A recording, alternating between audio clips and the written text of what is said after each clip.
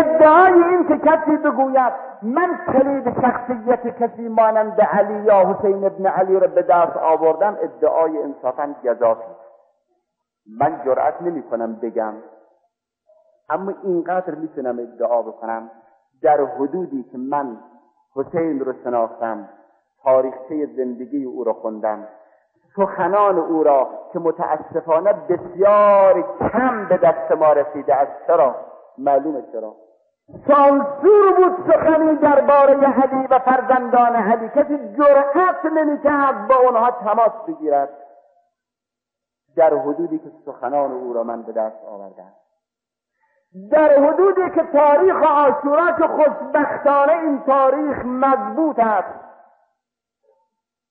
خطابه های حسین را نصایح حسین را شعارهای حسین را به دست آوردهام من می‌تونم اینجور بگویم. اون چی که در نظر من پیدا شده است کلید شخصیت حسین حماس است.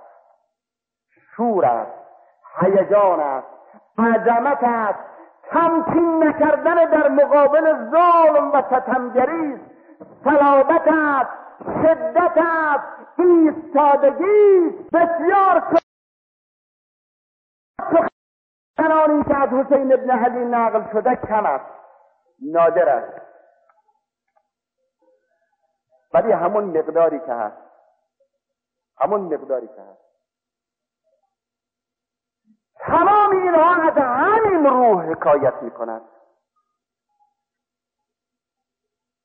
از حسین ابن علی پرسیدن آقا شما یه سخنی که خودت به گوش خودت از پیغمبر شنیده باشی داری که برای ما نقل بکنید فرمود بله. گفتن بگو. حالا ببینید انتخاب حسین از سخنان پیغمبر چه سخنی از همینجا شما مفتاح شخصیت که به دست بیارید.